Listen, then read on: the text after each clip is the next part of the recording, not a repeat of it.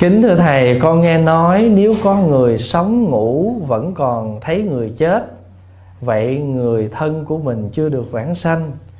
Không hiểu sao ông nội con mất 24 năm rồi Vậy mà con vẫn còn gặp ông trong giấc ngủ hoài. Vậy ông nội con có được vãng sanh chưa? Này ông ngoại mới trả lời được chứ không.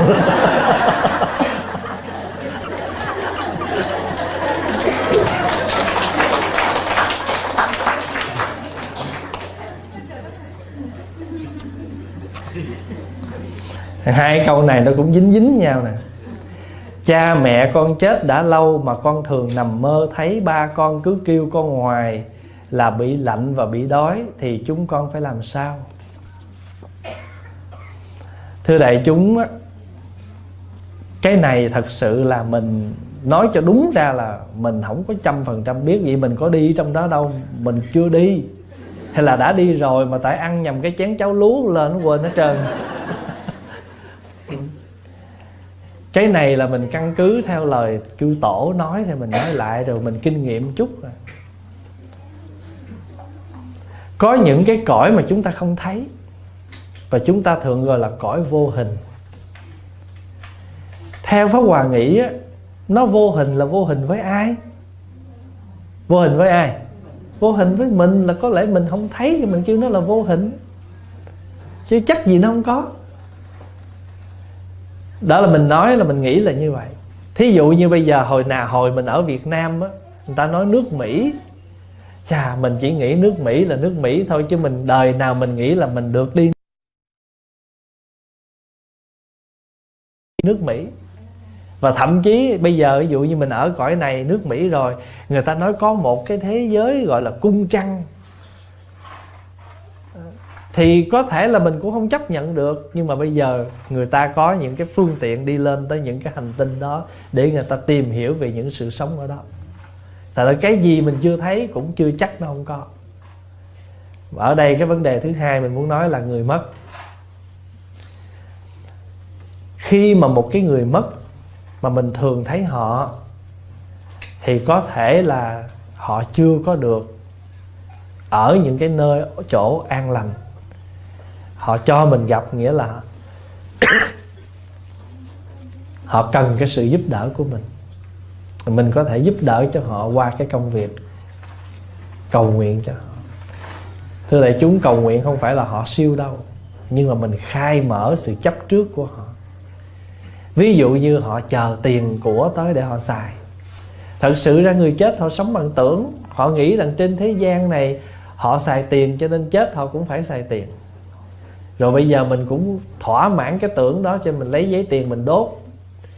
Mà mình đốt hoài vậy mà mình không khai thị cho ta biết cái này không thiệt.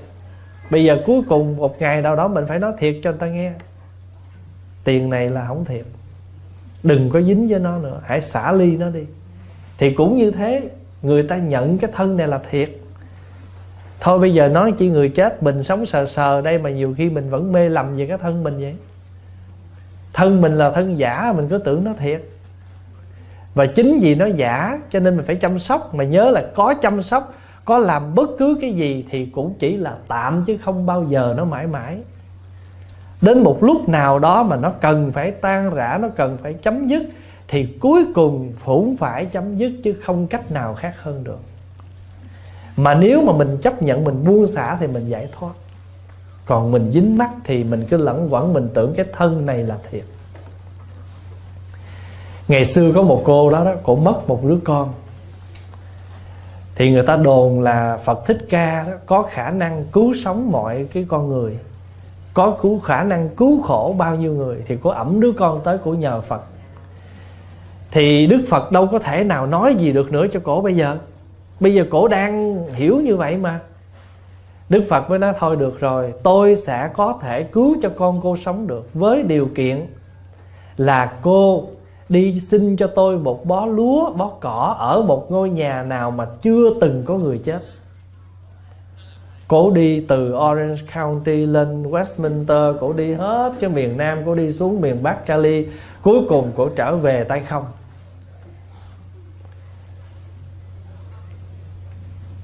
Thì đức phật mới hỏi, chứ ủa đứa con cô đâu rồi? Rồi con chôn nó là ốt hiu rồi. Thì đức phật mới hỏi, tại sao? Nó dạ bây giờ con hiểu rồi. Không có nhà nào mà không có người chết. Thì con của con nó chết cũng chỉ là một trong những trường hợp của người trên thế gian này. Nhưng mà nếu cái người mầm mình tâm mê mình nói cái gì làm sao ta hiểu? Chỉ khi nào tự thân người ta chứng ngộ cái chỗ đó có giống mình không? Khi mình thấy người đó không được, mình nói nó đâu có nghe.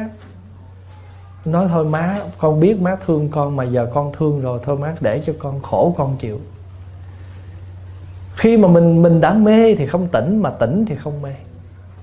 Cho nên mình tụng kinh phải người đó siêu mà tụng để khai thị, đừng có bám cái xác đó.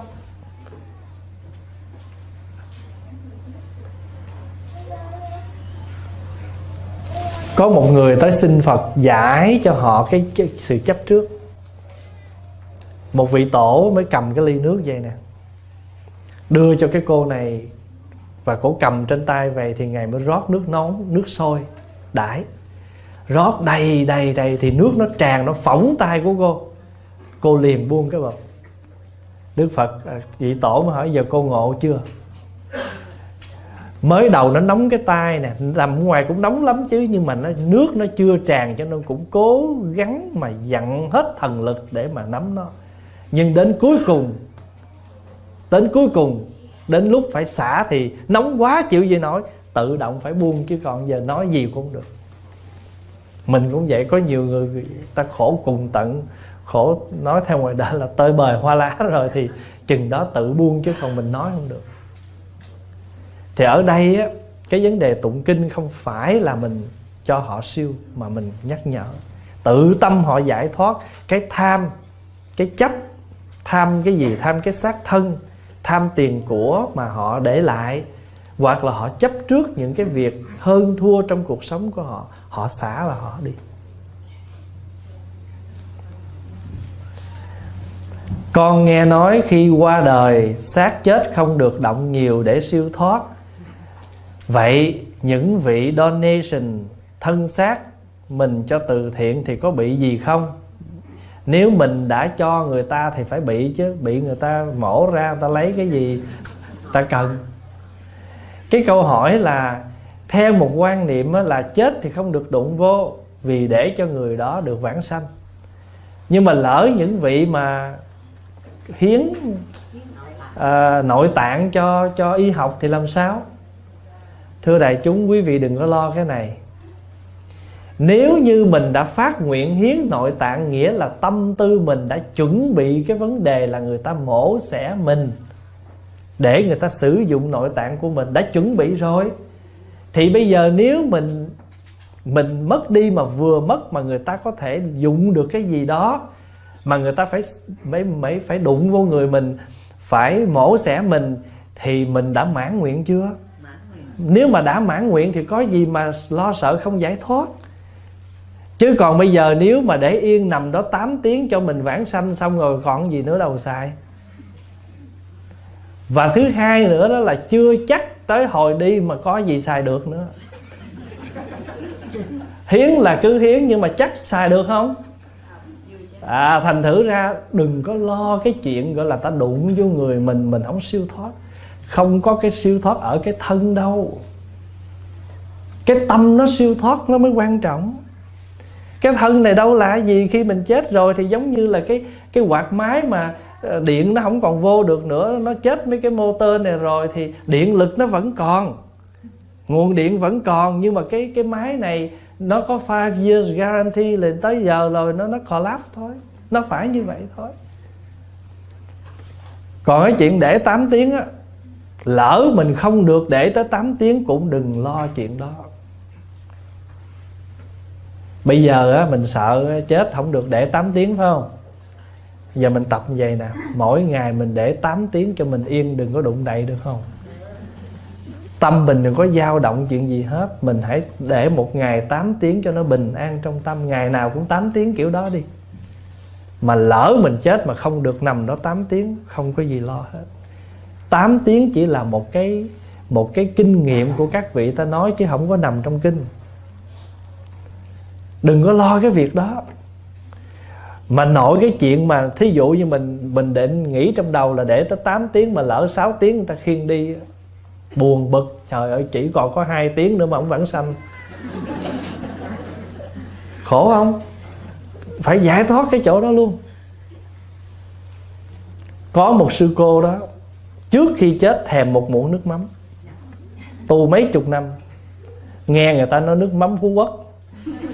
Nước mắm gì đó không biết mà cuối cùng á cổ chỉ thèm một muỗng nước mắm. Trước khi chết cổ xin uống một muỗng nước mắm.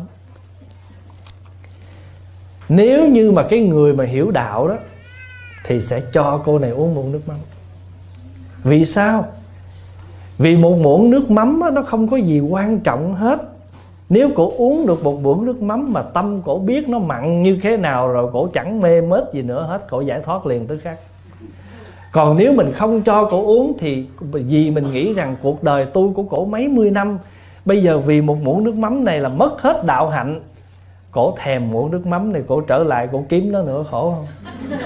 Thì bây giờ uống một muỗng nước mắm để giải thoát hay là gì nhịn một muỗng nước mắm mà trở lại? Cái trường hợp 8 tiếng nó cũng vậy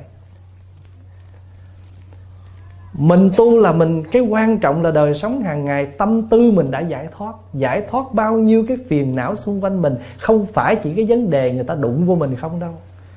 Người, nhiều khi người ta chưa đụng nữa, mình chỉ nghe người ta nói thôi. Bữa nay tôi đi chỗ đó, nó nói động chị đó. Nó dám động tới tôi hả? Ta chưa có đụng vô xác à. Ta mới đụng cái tên mình thôi là mình đã ré lên rồi. Hỏi ra, ôi, nó nói con bảy đầu đường chứ không phải nói con bảy này.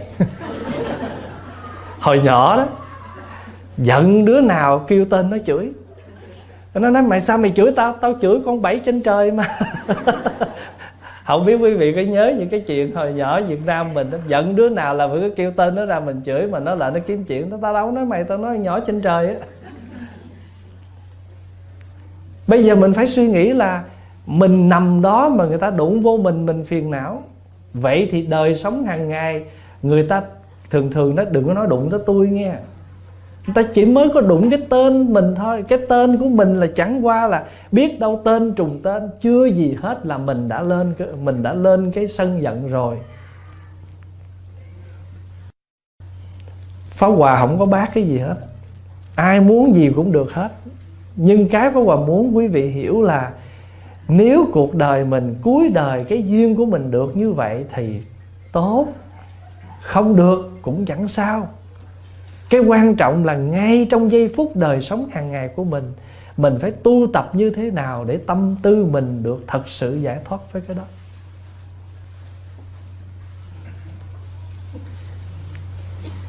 Nếu mà chỉ vì mình muốn đúng 8 tiếng thôi,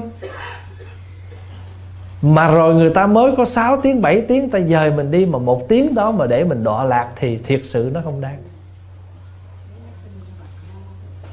Cho nên quý vị đừng có lo chuyện này. Còn nếu ai mà uh, ký giấy mà cho nội tạng cho y học cứ cho đi và lỡ lúc đó mà người ta sử dụng được vui lắm. Tại vì trước khi chết mà mình còn làm được một cái việc phước cuối cùng là cho những cái gì mà mình còn để lại được. Quá mừng. Cái phước thiện cuối đời mình mà người ta còn dùng được thì hạnh phúc lớn quá. Có cái gì nữa mà nghĩa là cái thân này đáng lý ra dục à? Mà dị dục bằng cách nào đây? Không lẽ bỏ cho nó hôi lên, cho nên phải tìm cách để vô lò thiêu kêu hỏa tán, để vô lòng đất kêu thổ tán, trôi ra ngoài sông kêu thủy tán, cho chim ăn điểu tán, dục trên rừng thi lâm tán, phải tán mà tán bằng năm cách. Phải có cách giải quyết. Vậy thôi chứ không có gì quan trọng. Cho nên mình á, thương thân, thương xác thậm chí mình muốn kiểu này mình muốn kiểu kia đó mà mình không được cái mình vì cái đó mình đáo trở lại đó là mình chấp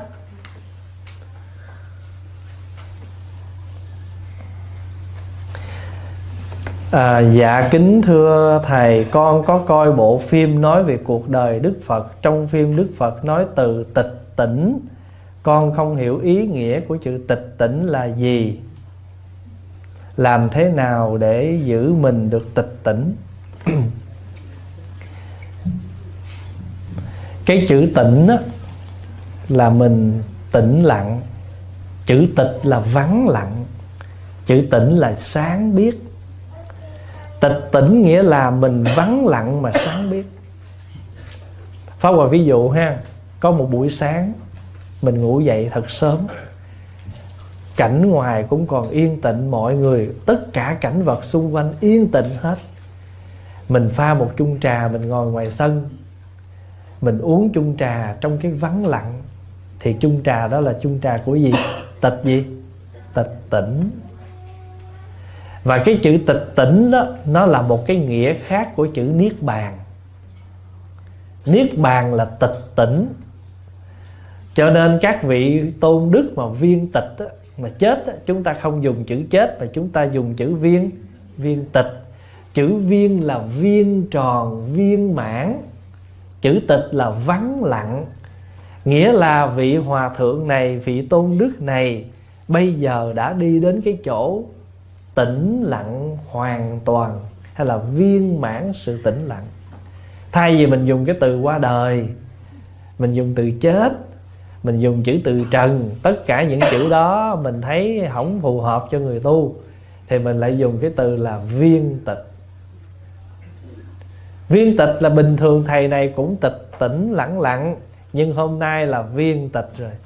Tức là đi vào cái chỗ vắng lặng hoàn toàn. Mà điều đó cũng đúng, nằm đó đâu nói gì nữa đâu mà không vắng lặng. Dạ, thì viên tịch là vậy. Cho nên tịch tỉnh là một nghĩa khoát của chữ niết bàn. Mà thí dụ bây giờ ai mà gặp mình á, cầu chúc mình á dạ con cầu chúc bác năm mới luôn luôn có sự viên tịch. Tầm bay tầm bạc à, người ta chúc người ta chúc đại thừa mà.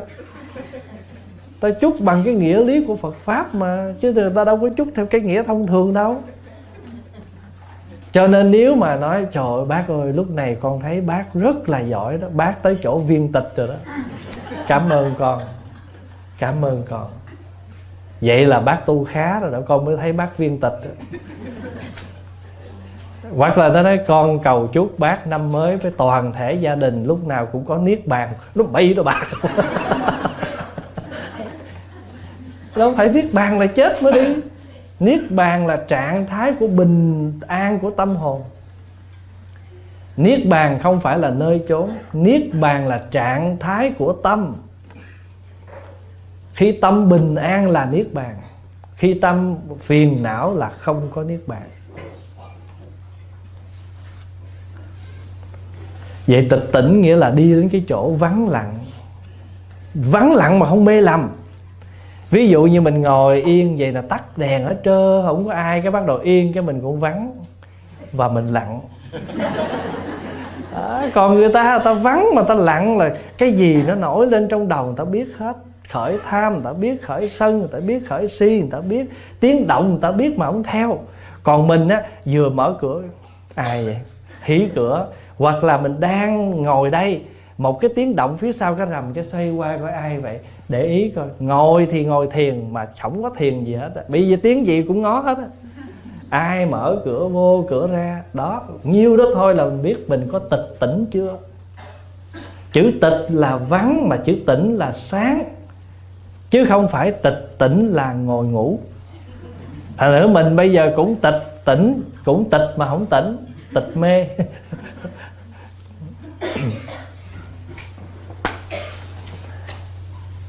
Xin cho con hỏi, chúng con cúng dường trai tăng.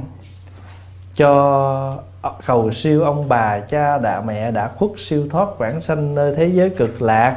Vậy làm sao chúng con biết được ông bà cha mẹ mình được siêu thoát? Cái này, hỏi cái này là mai mốt cúng, em không dám nhận. Bị nhận mà không bảo đảm người ta đi, sao dám nhận?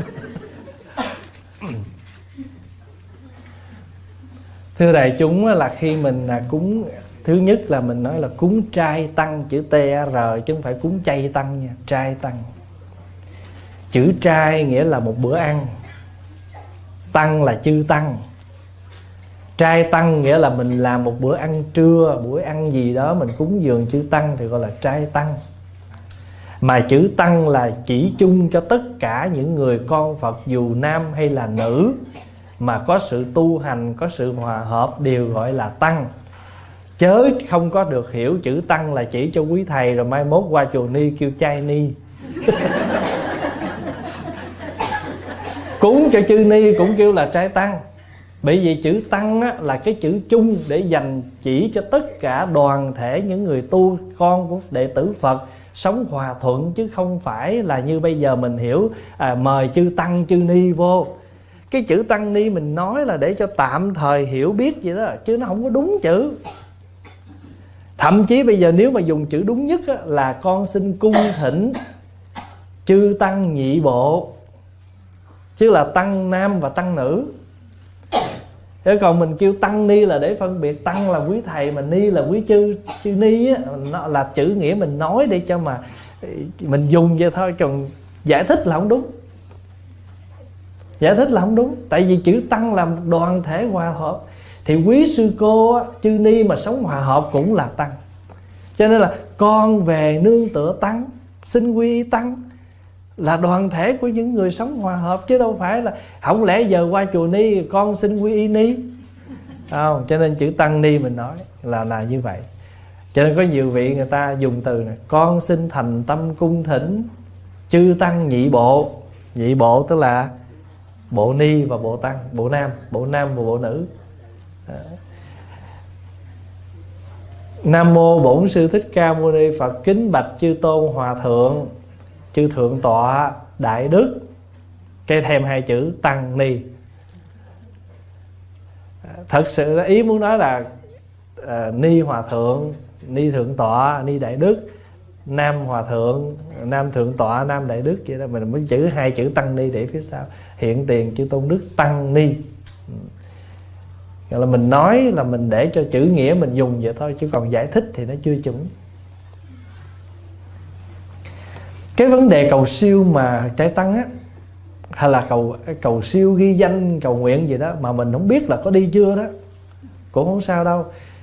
Nếu mà mình cầu nguyện như vậy mà mấy chục năm trời mình không thấy người thân mình xuất hiện trong giấc chim bao của mình, thì theo kinh nghiệm của các tổ là đi rồi. Tại bận đi cho nên không có quay về cho mình thấy. Còn nếu như trường hợp người đó đã tái sinh ở một cái cõi nào đó rồi thì cái công đức này mình cúng có được hưởng không? Có. Trong kinh nói là, ví như người đó đã ở một cõi lành nào rồi mình có gửi thêm cho họ thì họ có dư cho họ không thiếu. Thí dụ bây giờ ông nội mình à, mất, xong bây giờ tái sinh thành một cái anh mỹ nào ở ờ, đâu đó, thì mình, nhưng mà trong cái tâm mình là vẫn cúng cho ông nội, thì cái công đức đó, cái đứa nhỏ kia nó vẫn hưởng. Tăng phần, trội phần chứ không kém. Mà cho dù không ai hưởng đi nữa đó, ngay đời này là mình đã làm một việc thiện lành rồi. Nhưng mà tại tại vì chúng sanh mình nó thường thường cúng là phải có điều kiện. Chứ có ai mà ít khi nào cúng vô điều kiện lắm. Cúng là phải hồi cái đã. Con xin cúng dường thầy này cái hồi hướng, cầu an, cầu siêu.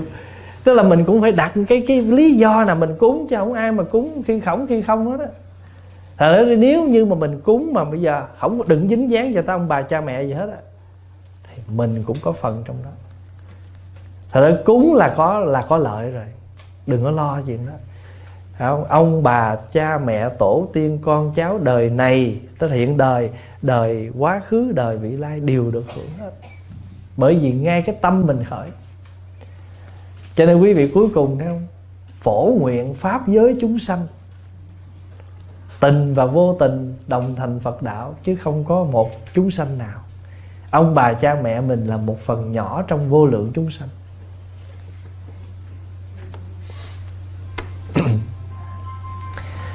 Nghe à, bạch thầy nghe bài giảng của thầy trên youtube nhiều có áp dụng để chỉnh sửa bản thân. Hôm nay đủ duyên nên được gặp thầy mong thầy giúp con một lời khuyên. Con là người yêu thích sự hoàn hảo trong công việc. Làm việc có sự chuẩn xác cao và uy tín được khách hàng tin cậy đồng nghiệp nể trọng. Tuy nhiên khi những người phụ giúp làm sai gây lỗi lầm con la rầy rất gây gắt làm tổn thương cảm xúc của cấp dưới chỉ tại vì con yêu thích sự hoàn hảo quá mức trong công việc. Con biết đó là sự quá khích, nhưng chưa điều chỉnh được. Con nghĩ mình born with it, nghĩa là sanh ra kiểu đó rồi đó.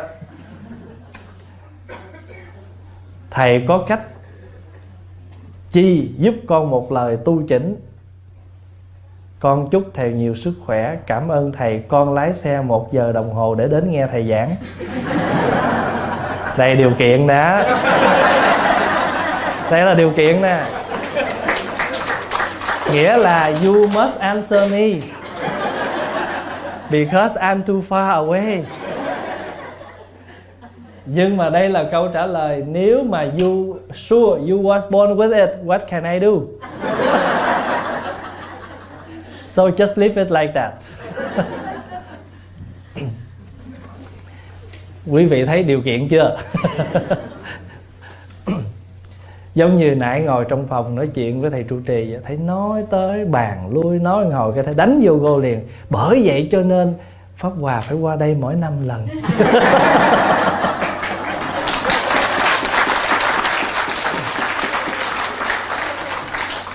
Bây giờ em kinh nghiệm lắm rồi qua Cali mà ai mời ăn cơm đừng có nhận. Ăn cơm xong là có chuyện à.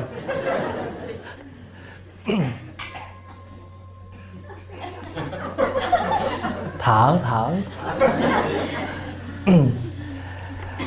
Thưa đại chúng là cái này nó cũng hay lắm. Thật sự ra đó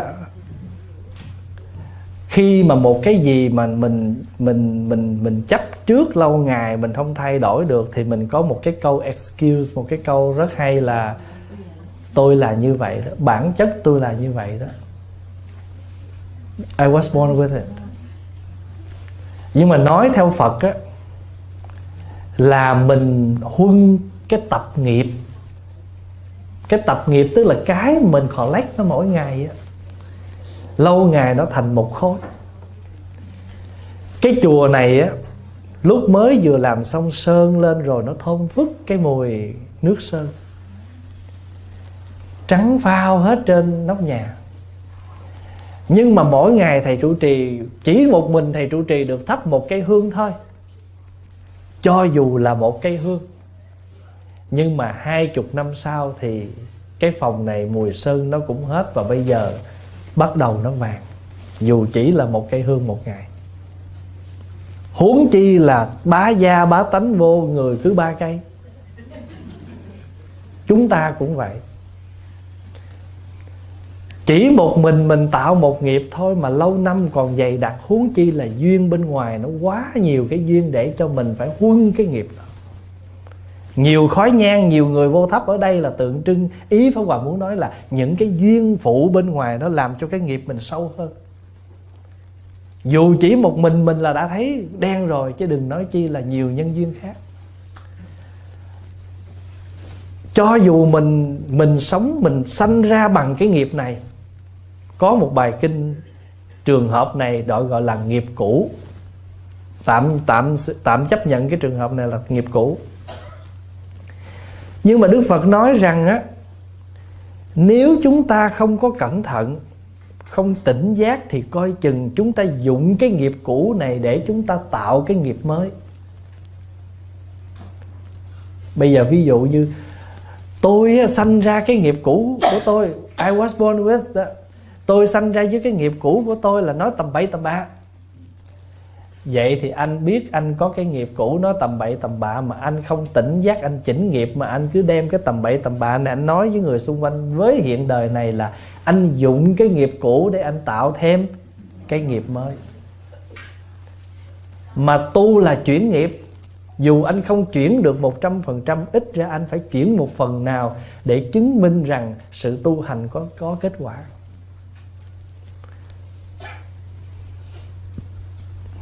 Mà trên đời này có ai muốn chọc mình giận đâu.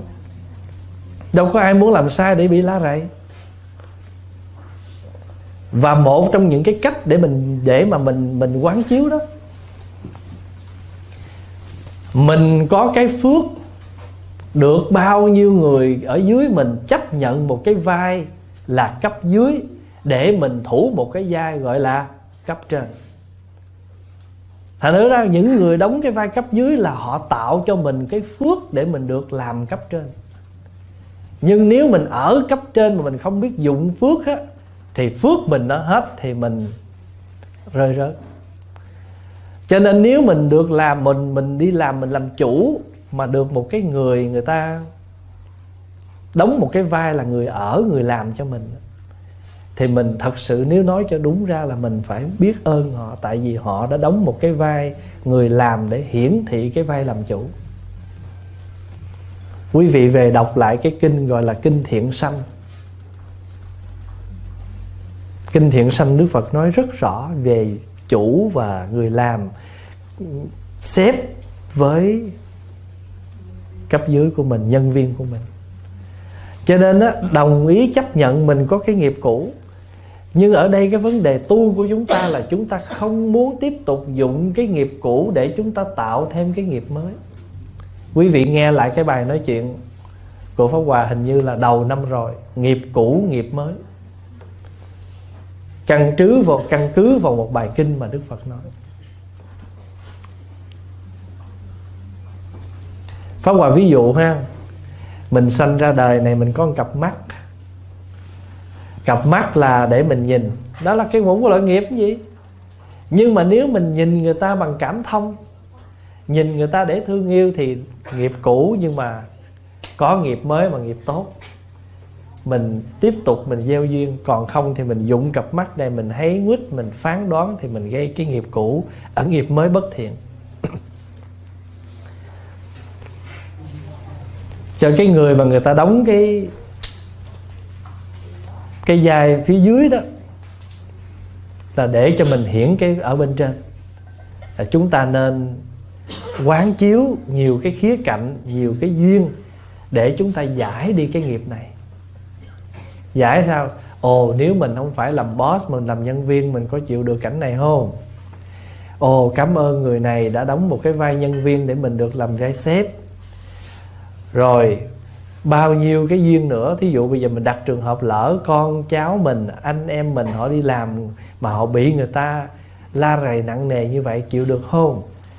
Và mình phải quán chiếu rằng ai cũng có những cái tự ái của người ta mà tại sao mình lại nói những lời như vậy? Vân vân, rất nhiều cách để mình quán chiếu, mình tạo nhiều cái thiện duyên để giúp cho cái cái cái cái cách sống này của mình nó được chuyển hóa.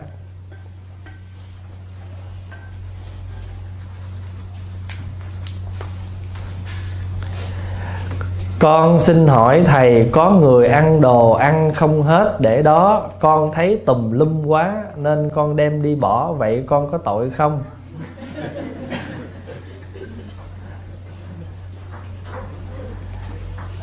Nếu mà mình bỏ cái thức ăn đó bằng cái tâm tư gì? Mình bỏ và bực bội quá để tùm lum mà mình dục để mà cho cho cho cái người đó biết tay mình, hay là để mà thỏa mãn cái bực bội mình mà trong cái đó mình vẫn biết thức ăn này còn ăn được. Thay vì mình bỏ thùng rác, tức là mình là phạm vào cái lỗi là phí thức ăn, thì cũng phải dọn thôi. Thì bây giờ mình cũng sẽ bỏ, nhưng mà bỏ vô tủ lạnh. Để mình không cảm thấy là mình có cái lỗi là mình đã phí thức ăn. Cũng là một cách dẹp, nhưng mà dẹp với phiền não thì thức ăn nó vào sọt rác và mình tự nhiên cảm thấy khó chịu. Vì đi vào sọt rác cho nên mới đặt câu hỏi là con có tội không? Còn nếu mình sợ tội thì tại sao mình không quán, không kiểm cái thức ăn, xem cái thức ăn này nó có còn tốt không? Chẳng qua là người kia có cái tánh hơi hời hợt, bê bối, không có biết làm gọn. Thôi thì bây giờ mình đằng nào cũng dọn dọn gọn cất tủ lạnh, mai mốt hâm ăn tiếp. Cũng là dọn, mà dọn không mắc lỗi còn một cái mình dọn bằng bực bội rồi mình trút vô thùng rác. Sau đó cái hối hận, không biết tôi có tội không, làm chi để rồi cứ phải phân dân tội với phước. Cũng là một cái dọn mà sao mình không dọn nó đi vào trong cái sạch hơn, cái tốt hơn để rồi mình khỏe luôn? Quý vị có yếu và nói gì trong cuộc sống của mình, có nhiều khi mình cũng nói, mình cũng nói cho cái người đó hiểu mình muốn muốn cái gì, nhưng mà có một cách nói cho người ta dễ chịu và một cách nói làm cho người ta đau khổ. Thì mình là cái người có tu có tuệ giác thì mình hãy chọn nói cái nào. Thật sự á, mình nói mình hả hê rồi mà mình lại là một con người biết phục thiện cho nên xong cái mình hối hận. Mình lại cảm thấy khó chịu khi mình phải thốt lên những lời nói đó với người kia vậy thì tại sao mình không tập lại là mình làm cái gì để vào khỏi mình, khỏi đặt mình vào một cái vòng đau khổ là tại sao tôi nói như vậy? Cái vấn đề ở đây là cái vấn đề chúng ta ứng dụng sự tu hành. Được như vậy thì chúng ta sẽ dễ chịu hơn và cuộc sống này nó sẽ linh động nhẹ nhàng hơn. Quý vị biết là nhiều lúc Pháp Hòa cũng có nhiều vị làm việc không có gọn gàng mà Pháp Hòa biết cái vị này mà xuống bếp mà không gọn gàng một hồi là cái nào cũng có lời qua tiếng người ta không nói gì, mình ta tùm lum tà la. Thôi bây giờ mình làm sư phụ. Mà hãy cái vị đó xuống bếp là Pháp Hòa phải đóng vai thị giả. Canh cái vị đó xuống bếp cái là Pháp Hòa tuột xuống bếp luôn. Săn tay áo lên, cái vị đó bỏ đâu Pháp Hòa đi dọn đó.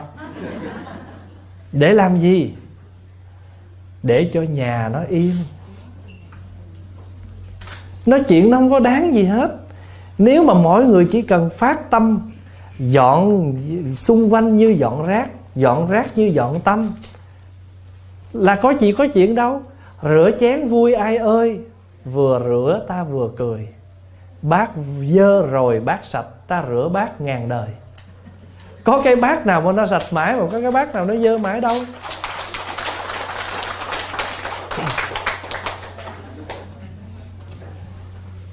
Quý vị biết nhiều lúc đó, mình đứng ở trên lầu mình thấy người đó đi tới. Mà nãy giờ mình biết là người ta cứ chạy lên chạy xuống chạy ra chạy vô ta mở cửa mà mở riết cũng hơi phiền tại vì cứ ra vô mở hoài. Có nhiều lúc đang đứng trên lầu vậy thấy sắp người sắp tới thôi em chạy ra em mở cho rồi để bớt một tiếng làm gì cứ bấm hoài vậy. Thật sự ra cuộc sống á cái vấn đề ở đây là chúng ta biết nhìn rồi tự thân chúng ta hy sinh cái thời giờ, cái công việc của mình như thế nào để nó điều chỉnh mọi sự phiền muộn xung quanh. Bởi vì một chút giận thì nó tập nghiệp chút, hai chút hờn nó tập nghiệp chút. Mà cuộc sống chúng ta mà cứ tập như vậy hoài nó thành ra một cái khối nghiệp lớn. Mình đừng có nghĩ mình là ai hết á mình đừng có nghĩ mình là trụ trì, mình đừng có nghĩ mình là boss, mình đừng có nghĩ tôi không có làm việc này. Mình là lớn mà mình làm được việc nhỏ nó mới phi thường. Còn mình là người lớn mà làm việc lớn là bình thường. Người nhỏ mà làm việc nhỏ là bình thường. Còn mình, người lớn mình có chức cao, mình mình mình lại đi câu mâu với người những cấp dưới mình là bất thường thế thì mình muốn mình bình thường, phi thường hay bất thường thì mình tự chọn. Ta không là gì thì ta mới là tất cả. Một cái cái nồi, bột nếp mà nhồi ra rồi đó, nắng nhỏ nhỏ thả vô kêu chè ỉ. Có một miếng đậu xanh kêu trôi nước, có nước đường kêu trôi nước luộc xong rồi để ráo lăn đậu xanh bánh dày đậu. Cho vô một chút tiêu, thành ra ăn với nước mắm bánh ít trần. Có một cục bột nếp mà mà mình muốn nó là cái gì thì nó sẽ là cái nấy. Nó không là gì thì nó mới là tất cả. Mình không là gì, mình mới là tất cả. Mà mình đã là gì rồi thì ai dám gọi mình là gì nữa? Quý vị thấy được cái chỗ đó không? Ứng dụng mình tu như vậy thưa thầy, tu là có từ giả cắt lìa những hệ lụy của thế gian. Vậy còn kết duyên nữa để làm gì? Để bắt đầu những chuỗi hệ lụy mới nữa sao? Có lý không? Câu hỏi là, mình tu là mình muốn cắt hết các duyên, vậy tại sao giờ mình cứ nói kết duyên kết duyên hoài, vậy là tiếp tục cái cái vòng hệ lụy sao? Thưa đại chúng cuộc đời này ngày nào chúng ta còn sống là không thể nào chúng ta cắt duyên được. Nhưng mà cái cắt ở đây là cắt những cái duyên khổ lụy, ràng buộc, phiền não. Còn cái duyên thiện lành tại sao không kết? Có bao giờ mình dám gả con mình cho cái người mà mình biết nó không ra gì đâu? Trừ khi nào thiệt sự mình không biết. Chứ còn ai cũng muốn con đem con mình kết duyên với một người tốt cả. Bây giờ quý vị đi đi ăn nhà hàng, quý vị có đành lòng đem tiền mình vô trả thiệt mắc cho một cái nhà hàng dở không? Ai cũng muốn đi tìm nhà hàng ngon để ăn hết. Mà nếu bây giờ mình suy nghĩ kỹ trong cuộc sống mình hàng ngày, có việc gì mình làm mà không phải kết móc một cái duyên đâu. Gặp nhau là bắt tay, hỏi thăm. Xin số phone, xin địa chỉ. Ad Facebook Ad Viber Ad Tango Ad Zalo. Đủ kiểu ad hết. Không có không có subtract, không có minus toàn là ad không. Vậy thì mình đâu có, mình đâu có các duyên, nhưng mà ở đây chúng ta phải biết tỉnh giác duyên gì nên kết mà duyên gì nên giảm. Ví dụ như bây giờ mình là mình là mình có hồi thỏ mình ghiền thuốc lá. Hôm nay mình giảm cái duyên hút thuốc lá thì cái gì nó tăng? Tiền nó tăng. Bởi đâu có mất tiền cho thuốc nữa đâu. Giảm tiền hút thuốc thì tăng tiền dư. Giảm sự hút thuốc thì tăng sức khỏe cho cái lá phổi. Giảm cái hút thuốc mà tăng tăng cái sự vui vẻ cho gia đình. Mà hãy càng hút mình càng hút thì phổi giảm tiền giảm mà vợ con mình cũng giảm luôn mà giảm giảm hơi á, bị cứ cằn nhằn hoài thấy không? Rồi sức khỏe của cái người sucking smoke. Thì ở đây Pháp Hòa chỉ muốn thưa là cái vấn đề không phải là chúng ta cắt hết các duyên nó y như cái trường hợp sanh tử luân hồi. Có nhiều vị nói ôi tôi để đến cái chỗ gọi là dứt luân hồi sanh tử. Dạ thưa không phải vẫn luân hồi sanh tử. Nhưng mà cái người không hiểu đạo thì sanh tử bì lao. Còn cái người hiểu đạo là gì? Khứ lai tự tại, đến đi thông dong vẫn sanh, vẫn tử. Cũng giống như ví dụ như bây giờ quý vị là cái người, ví dụ như bây giờ mình thương một người đó quá, mình không muốn xa người đó, nhưng mà mình hiểu rằng cuộc đời có đến có đi. Có tụ có tán thì họ đi thì mình tiễn họ đến thì mình tiếp. Họ đi về nhưng mà rồi có ngày họ họ làm sao? Họ trở lại. Cái mình nhẹ nhàng. Còn mình nghĩ rằng mình ra đi vĩnh viễn không bao giờ mình gặp cái mình tạo ra một chuỗi những cái sự gọi là à, hệ lụy cái từ mình khổ. Cho nên ở đây là vẫn trở lại nhưng mà không có khổ gì mình biết rồi có đến có đi. Cho cái người mà người ta hiểu thì khứ lai tự tại người không hiểu thì sanh tử bì lao. Ở đây á, mình không có kết cái duyên ác nữa giảm cái duyên ác mà tăng cái duyên thiện tăng cái duyên lành. Nếu cuộc đời này mà duyên gì mình cũng không kết thì có gì cuộc sống này nó có thực hiện được đâu.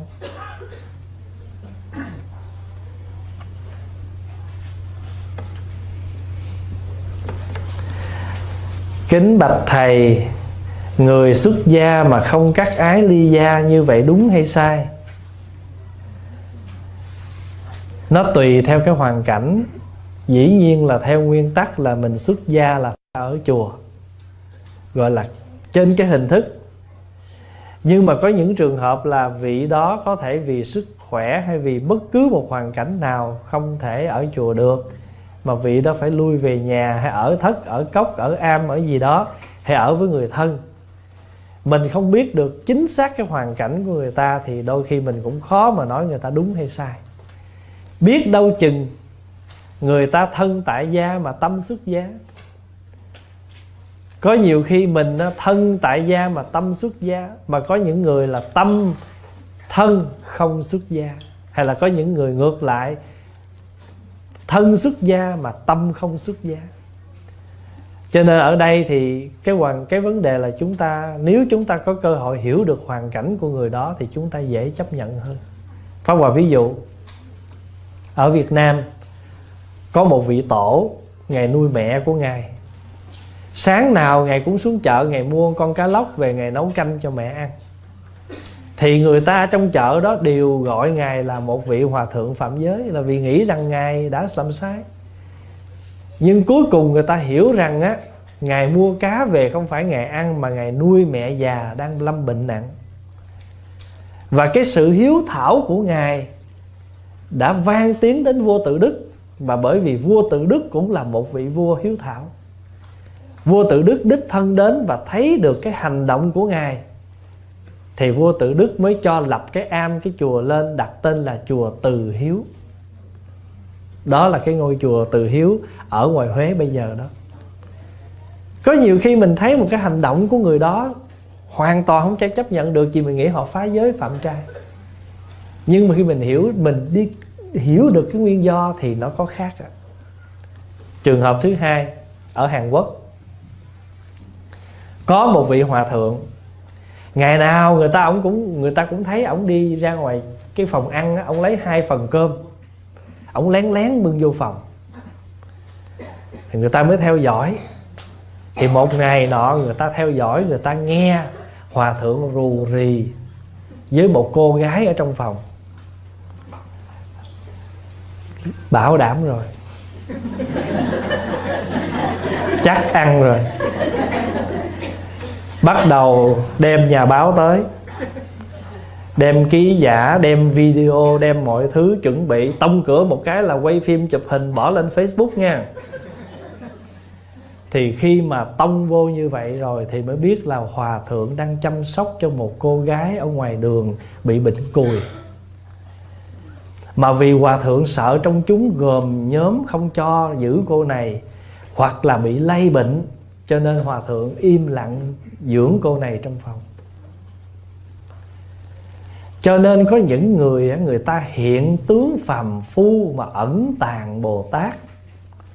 Cũng có trường hợp là ngoại hiện bồ tát mà ẩn tàng phàm phu. Cho nên cái cõi của chúng ta là cõi phàm thánh đồng cư. Cõi này nè, kẻ phàm người thánh sống chung với nhau, ai phàm, ai thánh, làm sao mình dám nói. Chính vì không dám nói cho nên đừng có khởi tâm khinh ai mà phải làm gì. Chúng ta hãy học hạnh của bất khinh, tức là thường bất khinh đó. Hãy chắp tay cung kính lễ từng phàm phu tục tử.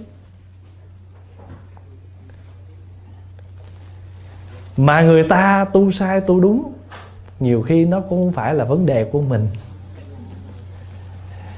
rồi mình bận rộn cái chuyện này thì đôi khi nó lại chuốt lấy cái phiền não mà dính dáng gì tới mình đâu. Phải không? Mình đi tìm, mình đi rước một cái phiền não về cho chính mình. Cho nên là ở đây Pháp Hòa không có dám nói đúng sai, bởi vì mình không hiểu được hoàn cảnh của người ta. Còn nếu như trường hợp mà bây giờ mình nói là cái người đó tu không đúng, tu là phải ở chùa. Phải không? Thì bây giờ bây giờ thí dụ mình bắt người ta ở chùa mà người ta không ở, mình làm gì người ta? Thôi thì bây giờ cái chuyện mình đã nói cho người ta biết người ta không đúng. Thí dụ đi mà người ta không làm thì cũng chẳng là đừng có rước cái phiền não vô nhà mình. Đức phật có nói bài kinh đó một cái người mà à, người dâu tốt đừng có lấy rác ở bên ngoài đem vô nhà và cũng đừng lấy rác ở nhà đem ra đường. Có người muốn tìm hiểu đức văn thù và đức đại thế chí có thể tìm hiểu trong kinh sách nào? Quý vị lên chùa văn thù hỏi.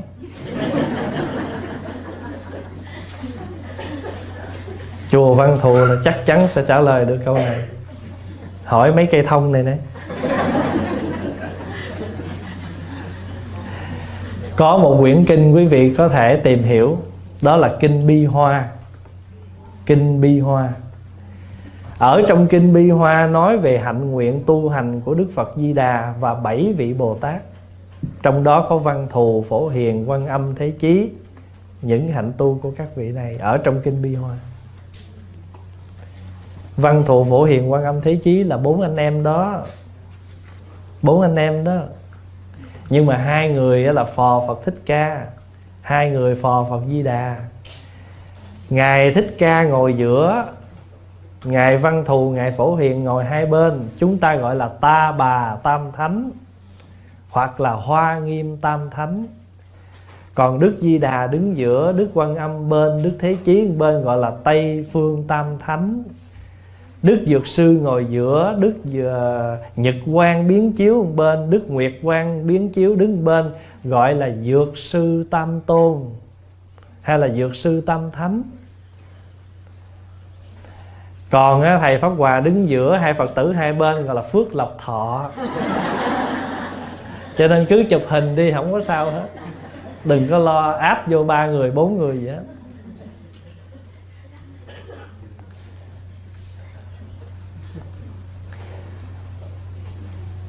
Vì cuộc sống lúc trẻ, con không thể nuôi nổi con cái. Con có bỏ đi hai đứa con, nghĩa là mình phá đó. Vậy bây giờ con phải làm gì? Thật sự ra trong cuộc sống hàng ngày thì nó có những hoàn cảnh, mỗi người mỗi hoàn cảnh. Chúng ta cũng khó định tội lỗi gì. Nhưng mà nếu mình thấy điều đó mình làm đã sai thì bây giờ mình phải sám hối thôi. Và nếu có cơ hội khuyên ai đó, đừng có lặp lại cái cái cái việc làm của mình. Cái mình có thể làm được là mình có thể nhắc nhở những người thế hệ bằng mình, sau mình, hãy cẩn thận, đừng làm những điều để rồi khổ đau giống mình. Đó là cái cách mà mình sám hối. Chứ mình làm gì được với mấy đứa nhỏ bây giờ. Nhưng mà cái cách phục thiện tốt nhất là đi rao giảng trở lại những điều khổ đau khi làm việc đó. Cũng giống như nước Mỹ và nước Canada đó, có những người họ ghiền rượu, ghiền xì ke, ma túy. Sau khi họ đi vào những trung tâm cải huấn họ đã tốt rồi thì họ đi làm lại một cái việc là họ đi khuyên trở lại những đứa nhỏ đó. Thỉnh thoảng pháp hòa tổ chức khóa tu cho thanh thiếu niên á. Pháp hòa mời những người đó lên để nói chuyện. Tại vì chính những người đó là những người đã bị ghiền, đã bị đau khổ và bây giờ những người đó đã vượt lên bằng cách nào thì những người đó sẽ có nhiều kinh nghiệm và chia sẻ với các em. Đó là cái cách họ sám hối chứ gì đâu tội từ tâm khởi, đem tâm sám. Tâm được tịnh rồi, nghĩa là giây phút này mình tâm tịnh tịnh rồi thì những tội lỗi về sau nó sẽ được tiêu. Cái sau nha, thì nó phối hợp với tội mà tiêu, tâm mà tịnh. Nhớ rằng tội cũng là tạm mà tâm tịnh cũng là tạm. Thải điều không khi mình đã mình đã sạch rồi thì đừng bao giờ cười những người dơ vì mình đã từng dơ cho nên có cái gì đâu mà phải dính mắt gọi là tội tiêu tâm tịnh, thải điều không. Như vậy mới gọi là chân sám hối. Rất nhiều thanh niên, rất nhiều thiếu nữ đã làm sai bằng nhiều kiểu, nhiều cách nhưng không lẽ cuộc đời này ai sai, ai quấy, mình cũng đều đẩy họ ra sao? Hãy cho họ cơ hội làm lành, làm thiện.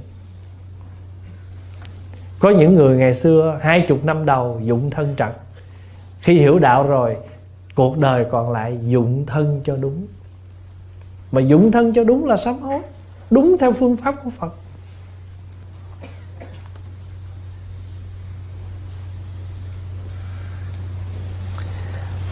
Thưa thầy trong kinh có thấy là đa số đức phật sa số tên của các vị phật đó từ đâu mà có chỉ có một đức thích ca à, thuyết à, pháp các ngài khác có làm việc này không? À, thưa đại chúng là trong kinh cái câu hỏi là nghe thấy kinh điển nói nhiều vị phật quá mà các vị này có làm việc giống phật thích ca không? Dạ thưa có chứ. Bây giờ pháp hòa nói ví dụ như nè. Trên cái trái đất con người này toàn thể đất nước và con người sống trên trái đất này có ai mà sống khác hơn chúng ta là sáng cũng phải đi làm để kiếm sống rồi cũng phải ăn cũng phải ngủ phải mặc phải làm tất cả những công việc đó giống hệt với nhau hết. Mười phương chư phật cũng làm một, một việc thôi. Cái này gọi là bát tướng thành đạo. Mười phương chư làm một việc thôi làm tám việc giống nhau. À, đảng sanh à, xuất gia à, tu hành thành đạo chuyển pháp rồi niết bàn rồi thậm chí các ngài đi vào cái chuyện gọi là có có gia đình. Thí dụ vậy các ngài đều trải qua những cái tướng đó hết. Bây giờ ví dụ như một cái người ông một ông vua và một người dân thường tuy hai cái đời sống nó khác nhưng mà cái thủy chung cái gốc sống nó giống không? Giống hệt thôi. Thì chư phật cũng vậy thôi chứ đâu có gì đâu. Nhưng mà sở dĩ mình biết được cái, cái đạo hiệu ờ, hồng danh của quý ngài là do sự giới thiệu. Và có khi á do công hạnh tu của các vị mà chúng ta xưng tán cũng có.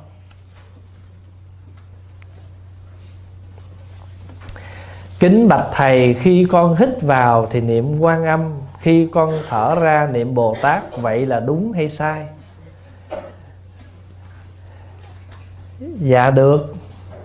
Thậm chí quý vị trì câu chú án mani bát di hồng, quý vị vẫn thở theo cái câu đó được. Hít vào án mani, thở ra bát di hồng.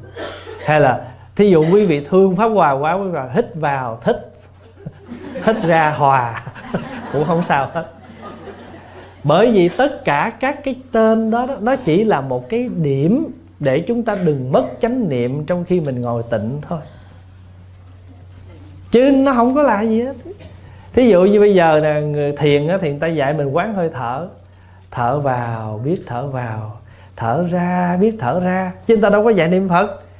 Nhưng mà bây giờ mình thấy câu niệm phật này hữu hiệu cho mình. Hít vào a di thở ra đà phật miễn sao mà trong khi mình ngồi đó mà tâm của mình nó có một cái đề mục, nó cột tâm mình vào đó, mình không có bị mất cái chánh niệm là được rồi. Có nhiều khi mình đi thiền á, bước cái chân này mình nói, trái phải. Mình đọc cái tên mà mình đang bước đó, chân trái, chân phải. Hoặc là mình gọi tên người thương của mình. Thí dụ mình thương ba, thương má con đi cho ba, con đi cho mẹ. Khi mình đi từng bước đi cho ba, đi cho mẹ, tự nhiên một lát nữa mình hạnh phúc. Mình thấy rằng mỗi bước chân mình mình đang đại diện cho ba, cho mẹ mình mình đi. Đâu có sao đâu. Pháp hòa bày quý vị đút cơm cho mấy đứa nhỏ đó. Muỗng thứ nhất, ăn cho ba con. Ăn cho má con. Ăn cho ông nội, đem hết dòng họ mình rang hết, lát hết chén cơm nhưng mà mình không nói vậy, nó thấy nguyên chén cơm nhiều quá. Bây giờ một người một muỗng cơm. Con có thương ba không? Có thương, ăn muỗng này cho ba. Con thương cô không? Ăn muỗng này cho cô. Phương tiện mà. Cái cứu cánh là hết chén cơm. Còn phương tiện thì tùy mình. Cứu cánh là tịnh tâm, phương tiện là tùy mình. Mình hợp với cái nào thì mình theo cái đó. Cứu cánh là hết bệnh, phương tiện là uống thuốc. Người hạp với Tylenol thì uống Tylenol. Người hạp Advil thì uống Advil. Ai hạp cái gì thì uống thuốc nấy. Cái quan trọng là hết bệnh. Còn chúng ta hết kiểu nào thì tùy theo sự điều chỉnh cái cái liều lượng thuốc của chúng ta. Con nít nó nhỏ tuổi, không thể cho nó uống cái liều như người lớn được. Uống vào nó sẽ xỉn. Hay là thậm chí nó ngộp thở, vân vân nó có những cái side effect thì mình phải tự điều chỉnh chứ thì cũng như vậy, mục đích chúng ta ngồi tịnh tu là chẳng qua giúp cho tâm mình tịnh, còn cách nào đó là tùy mình. Có nhiều vị hỏi là, thờ phật thích ca mà niệm di đà hoài, không biết phật thích ca có buồn không? Nếu thật sự phật buồn thì phật đâu phải là phật. Mà buồn cái gì khi cái chuyện niệm phật là ngài giới thiệu mà, chứ mình đâu có biết phật thích ca là người dạy mình niệm phật di đà. Chứ sao mình biết được? Mình biết phật di đà là qua sự giới thiệu, kết nối, kết duyên của mình với phật di đà. Cho nên phật thích ca kết duyên mình với phật di đà. Phật thích ca kết duyên mình với cõi cực lạc. Phật thích ca kết duyên mình với chư bồ tát. Chứ còn bản thân mình có biết đâu? Mình cục tác thì biết, chứ còn bồ tát không biết ai cho nên sự sự giới thiệu của các vị kết duyên kết duyên. Niệm phật có bốn cách. Lần chuỗi gọi là sổ châu niệm phật. Niệm phật theo hơi thở gọi là tùy tức niệm phật. Đi từng bước niệm phật là kinh hành niệm phật. Quán chiếu hình ảnh của phật, gọi là quán tướng niệm phật. Bây giờ mình niệm Phật mà tâm mình loạn quá, Để hình Phật ra trước mặt, Để mình nhớ hình ảnh của Ngài, Mình không loạn. Quán tướng niệm Phật. Lần chuỗi niệm Phật, Hơi thở niệm Phật, Kinh hành niệm Phật, Cái nào cũng được miễn là Mình có niệm Phật Để tâm mình tịnh. Con quy y được đặt hai pháp danh. Lúc đọc thì đọc là diệu thành, nhưng khi nhận giấy là nhận tâm an nhiên. Vậy pháp danh của con là diệu thành hay tâm an nhiên? Nếu bình thản, tên gì nhận tên đó thì quả thật là tâm an nhiên. Đúng không? Bây giờ lúc đọc thì kêu diệu thành mà giấy về thì gọi gọi là tâm an nhiên. Mà bây giờ mình không chịu tâm an nhiên không lẽ sửa nữa sao? Thì thôi đã là tâm an nhiên thì cứ an nhiên với tất cả các duyên nó tới với mình. Lúc mình à, quy y mình có biết mình sẽ được tên gì đâu. Trong bụng chỉ nói mong thầy đặt cho con cái tên đẹp đẹp. Có không bà cụ quy y được đặt pháp danh là tịnh thê thê là cái thang. Cái thang từng bước lên cõi tịnh. Mà bà không hiểu chữ thê đó. Bà nhất định là, tôi lại thầy. Cuộc đời tôi nó thê thảm quá rồi à. tôi mong tôi vô chùa, thầy đặt cho tôi cái gì cho tôi thoải mái một chút. Nhà đâu thầy dẫn cho tôi một chữ thê nữa giải thích dạ không, chữ thê là cái thang mà thang này dẫn mình lên cõi tịnh. Dạ không, thầy sửa đi, thôi tôi cuối cùng phải tùy thuận chúng sanh đổi chữ lại, tịnh nhàn. Bà không chịu thế thì bà nhàn.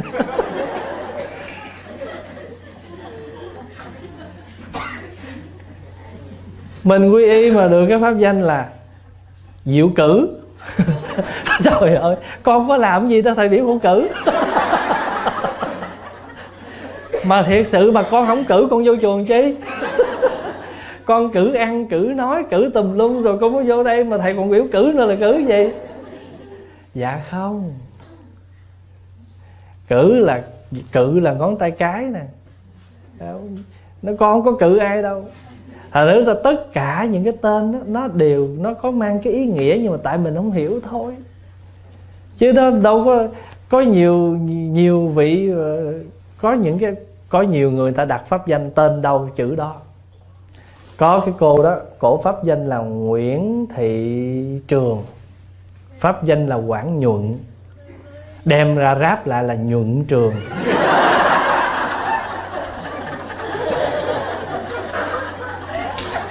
Trời ơi cổ bực bội quá trời cô vô, cô nói, thầy đổi với con pháp danh đi, thầy đặt cái gì kỳ quá. Hết chuyện, thầy đặt dung trương ông thầy nói, đạo hữu đừng có buồn, vậy là đạo hữu quanh năm khỏi lo bón.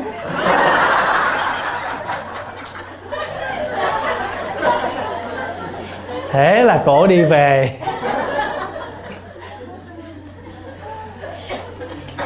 Một cái vị phật tử khác, tên là nguyễn thị lê, pháp danh diệu lựu tên đâu chữ đó mà? Cô nọ tên là hà thị lúa, pháp danh là diệu thơm.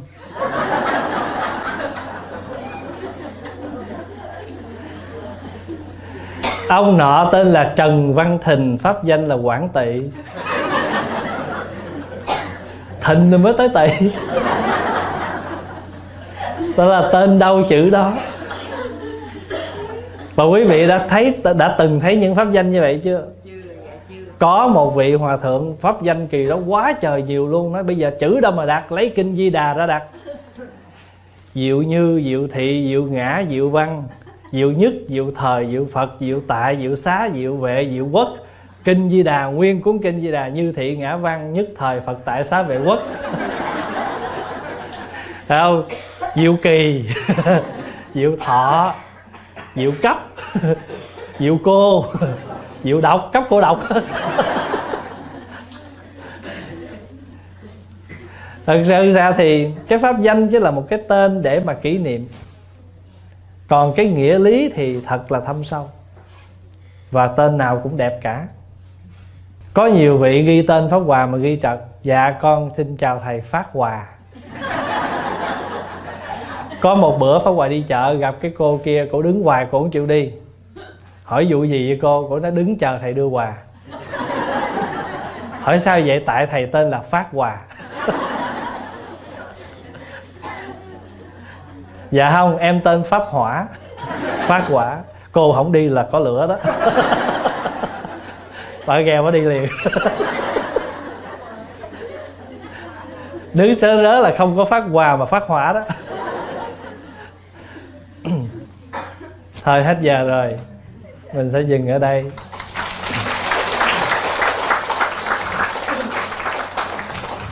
Xin à, một lần nữa con xin biết ơn thầy trụ trì đã tạo cho chúng con một cái duyên hôm nay để gặp nhau.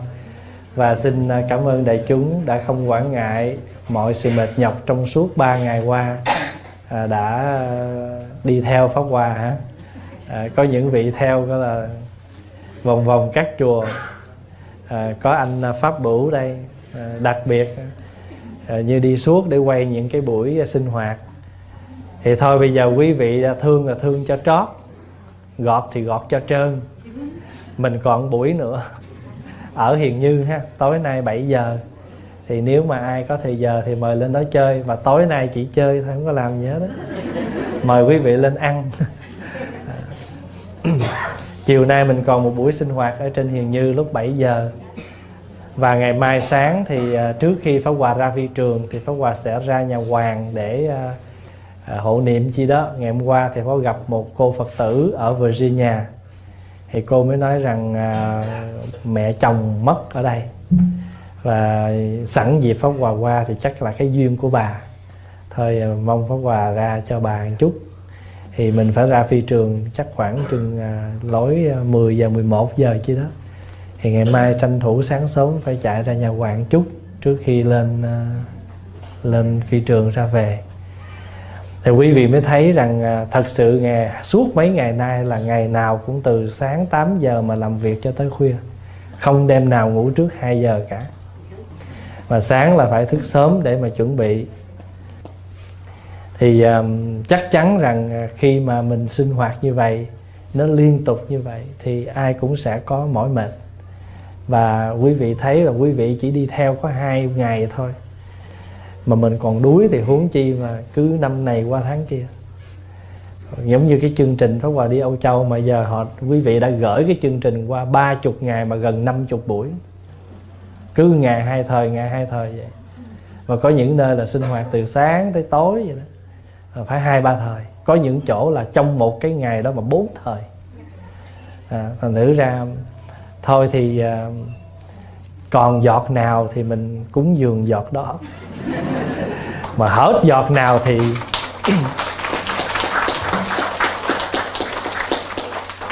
nếu không còn giọt nào thì mình sẽ giọt. Cái nào cũng giọt cả. Kính thưa thầy nhà con trước cửa có trồng một cây bồ đề lớn. Xin thầy cho biết như vậy có tốt không? Trồng cây bồ đề thì tốt rồi, chỉ sợ trồng cây si thì mới mệt.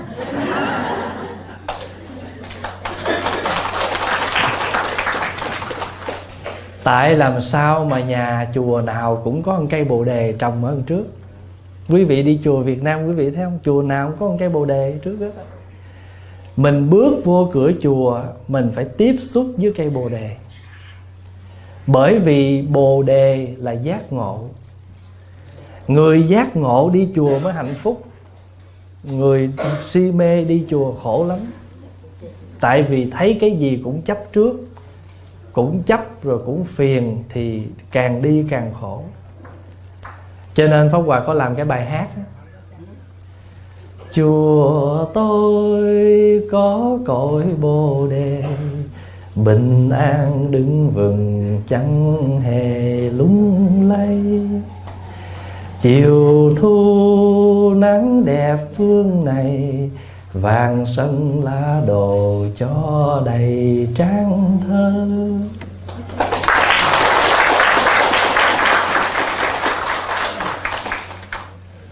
Tâm của mình phải có một cây bồ đề. Nếu cây bồ đề trong tâm hồn của mình mà nó lung lay, nó biến đổi, thì cái sự tu của mình nó không thăng tiến. Mà trên đời này chẳng có cây gì gọi là cây bồ đề cả. Vì bản chất của cây đó nó không hề có tên là cây bồ đề. Nó là một cái cây tên là Pipala, Nó là một cây cổ thụ ở trong rừng. Hơn 2.000 năm trước Thái tử Sĩ Đạt Ta đi vô rừng tìm một cái cây để ngồi thiền. Nhìn khắp có một cây đó bự nhất à. Cho nên Ngài chọn cái cây đó Ngài ngồi để Ngài ngồi thiền.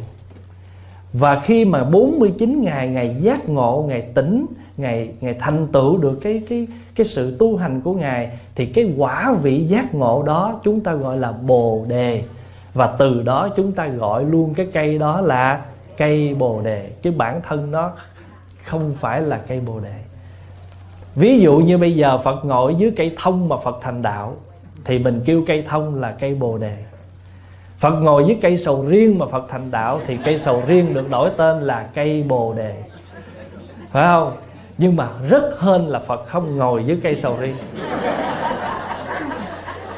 Tại vì nếu mà phật ngồi dưới cây sầu riêng mà bây giờ mình cũng ra cây sầu riêng mình ngồi đó mà lỡ cây bồ đề nó cái cái cái trái sầu riêng nó rớt xuống á thì kêu là bồ đề gai. Quý vị có nghe cái từ bồ đề gai không? À, bồ đề là những người tu hành mà thanh tịnh an lạc giải thoát mà người nào vô chùa mà cứ đụng ai cũng sân đụng ai cũng phiền muộn đó ta nói bà đã nổi bồ đề gai. Ông nó nổi bồ đề gai. Thì cái chữ bồ đề là giác ngộ ai trong chúng ta cũng có, phải có sự, có giác ngộ mới ngồi đây. Người không giác ngộ không có đây. Cho nên ở đây có hai cái quán nằm sát nhau. Hay ghê lắm. Bên là cây si, cây là hoa sen. Cây si là quán cà phê. Ở trên ờ, ở trên cái chỗ đó là cái gì đó không biết. Broke heart hả? Broken heart hả?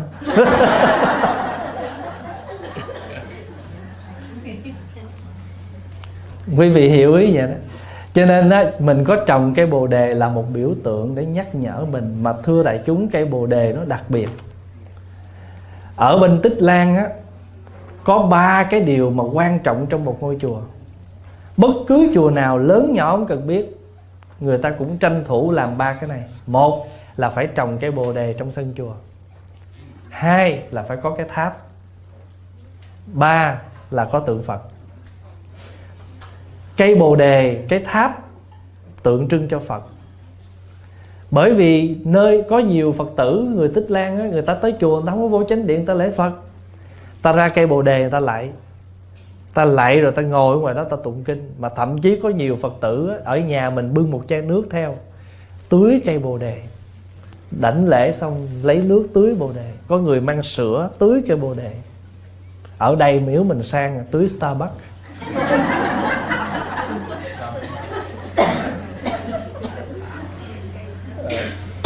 Es, espresso. Cho nên là thưa đại chúng là cái câu hỏi là có thể sợ cây bồ đề nó là cây cổ thụ lớn trước cửa nhà theo phong thủy như thế nào đó, nhưng mà không sao đâu. Chỗ nào có cây bồ đề là chỗ đó có phật, vì cây bồ đề là tượng trưng cho phật. Trong tâm mình còn có bồ đề, còn có giác ngộ. Anh chọc tôi giận tôi có thể buồn anh nhưng mà không vì anh mà tôi bỏ tu anh có thể làm tôi buồn nhưng mà không vì anh mà tôi bỏ đi chùa. Anh có thể làm tôi giận nhưng mà không vì anh mà tôi nghỉ đi khóa tu. Không vì không vì ai cả mà phải vì mình. Như thế mình mới gọi là trồng cây bồ đề. Còn nếu mà mình á, trồng cây bồ đề xong bữa nào mình không vui mình bứng. Cho nên cây bồ đề trồng hoài mà sao không lớn? Bởi vì mình cứ hãy buồn giận nó, mình di dịch nó theo cái cái cái cái tâm tư buồn giận của mình. Không nên. Cho nên trồng bồ đề là cái sự dưỡng cái trồng cái bồ đề tâm ở trong lòng mình là một cái cần thiết. Con nghe Kinh Nguyên Thủy nói, Phật Thích Ca 29 tuổi mới xuất gia có phải không? Cái này phải hỏi cụ chứ còn Hỏi cụ Thích Ca cụ đi tu. Bây giờ tại sao mà nó có hai cái thuyết? Pháp Hòa cũng giải thích một chút. Nó có hai cái thuyết. Một á, là có thuyết nói rằng Đức Phật đi tu năm ngày 19 tuổi. Một thuyết nói Đức Phật đi tu năm ngày 29 tuổi. Lý do nào có hai thuyết? Thuyết thứ nhất nói rằng Đức Phật 5 năm đi tìm đạo Và 6 năm khổ hạnh Cộng lại là 11 năm 11 năm tầm đạo và tự tu như vậy Cộng thêm á, 19 tuổi đời nữa là bao nhiêu tuổi? 30 mấy? 30 năm 30 năm rồi khi mà Đức Phật đi Phật, Đức Phật mất á Đức Phật bao nhiêu tuổi 80 cho nên cái thuyết đại thừa nói là Đức Phật có 49 năm thuyết pháp. Nhớ không? Phật có 49 năm thuyết pháp, Vì vậy người ta tính rằng 5 năm đi tìm đạo Và cộng 6 năm khổ hạnh là 11 năm tu hành. Cộng với thời, tuổi đời của Ngài, Cho nên lúc Ngài thành đạo là 30 tuổi. Rồi đến khi Ngài tịch là 80 tuổi, Cho nên mới nói 49 năm thuyết Pháp. Đó là một thuyết Và thuyết này là theo Đại Thừa.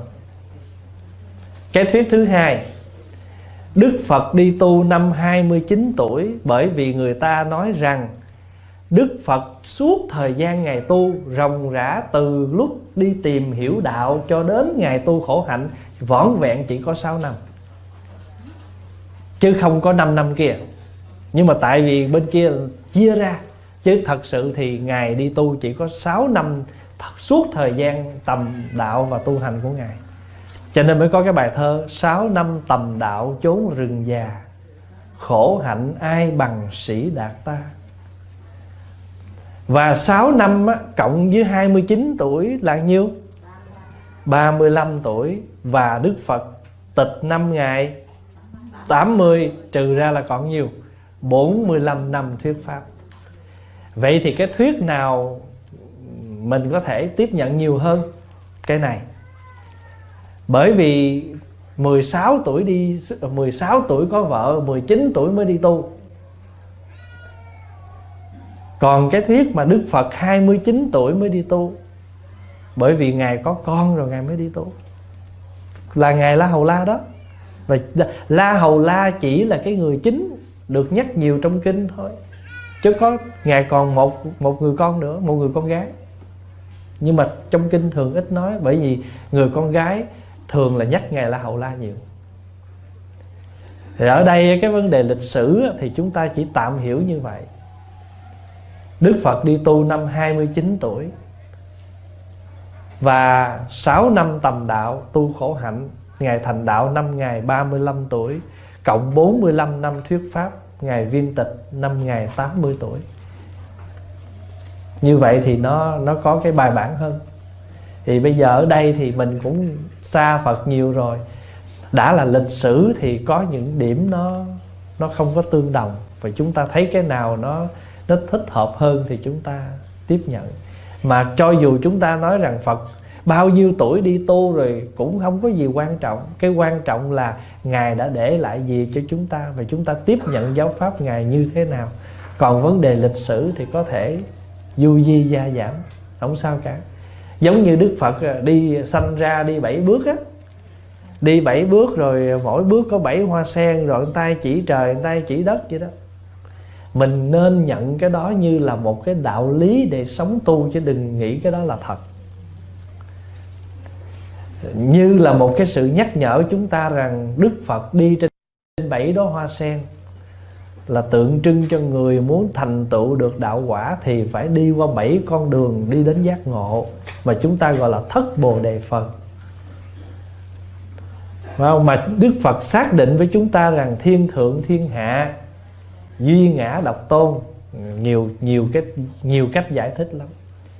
Và nếu như mình chấp rằng á, Đức Phật sanh ra và vừa sanh ra và ngày ngồi dậy ngày đi liền á phải không?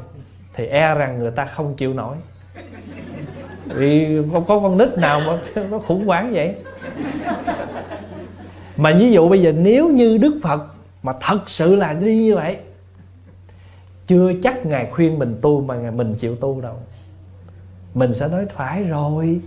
Ngài sanh ra, vừa sanh ra ngài đi, cho nên ngài phi thường, ngài tu thành phật là phải rồi. Còn con phải ăn, rồi phải uống, rồi phải đủ thứ. Giờ bởi vì con tu không thành là đúng thôi. Cho nên nếu mình nói như vậy là cái sự khuyên của phật là, tôi là một con người như quý vị, mà tôi vẫn sống, vẫn tu được, thì quý vị cũng sống. Tôi là phật đã thành. Quý vị là phật sẽ thành. Nó xác định hơn.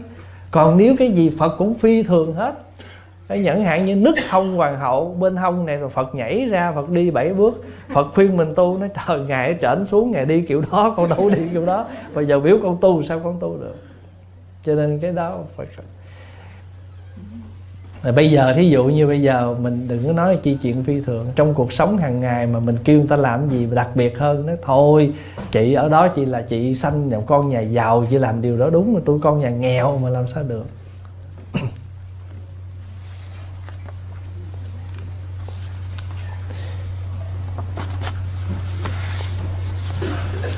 Thầy cho con hỏi tại sao khi tụng kinh hay suy nghĩ mình phải làm gì sau khi tụng? Cái này là planning á. Thật sự ra tụng kinh mà suy nghĩ lung tung á, là cái chuyện không thể tránh. Rồi cái quan trọng á, là mình đừng có để cho đó cái đó đó nó lôi mình như thường khi vừa khởi suy nghĩ thì mình lại tiếp diễn những suy nghĩ đó và cái người tỉnh giác là giật mình. Thôi mình đang tụng kinh cứ kéo lại. Cái suy, cái dòng suy nghĩ ra ra ngoài lề đó, nó là cái con trâu. Còn chúng ta phải ngồi chăn nó là hãy nó vừa phóng là kéo nó lại vì mình là một người chăn trâu. Mình là một mục tử, mình là một mục đồng. Cái tâm chạy nhảy mình là con trâu, nó hay nhảy lắm cho nên mình ngồi thiền, mình tụng kinh niệm phật là mục đích là để làm gì? Để mình kéo con trâu đó lại, không để cho con trâu đó nó đi ăn lúa nhà người, nó quậy phá đất của người khác. Đến khi nào mà nó thuần thục, ngồi đâu tâm đó, ngồi đâu tâm đó nghĩa là mình đâu trâu đó, mình đâu trâu đó thì chừng đó mình mới thoải mái mà thổi sáo, đánh đàn, đi chơi. Quý vị có thấy bức tranh đó chưa? Chùa người ta hay vẽ 10 bức tranh chăn trâu đó. Đầu tiên con trâu đen thùi, con trâu đó là tâm mình đó. Rồi có một cái chú tiểu cầm cái roi chăn nó là mình. Rồi cái xỏ mũi nó, có nghĩa là thấy thấy cái dấu vết của tâm, rồi xỏ được cái cái mũi của tâm. Chăn con trâu từ khi nó đen thùi mà trắng lần trắng lần trắng lần đến cái bước thứ bảy, thứ tám con trâu nó trắng. Rồi có một cái bước là người, cái chú một đồng ngồi trên lưng con trâu và thổi sáo, không phải lo lắng gì đó. Đó là cái cái giai đoạn mà người tu đã đến cái chỗ thuần thục.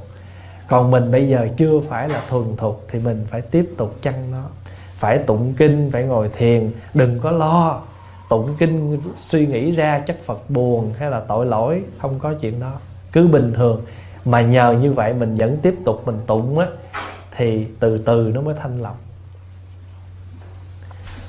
kính thưa thầy, con kính chúc thầy sức khỏe.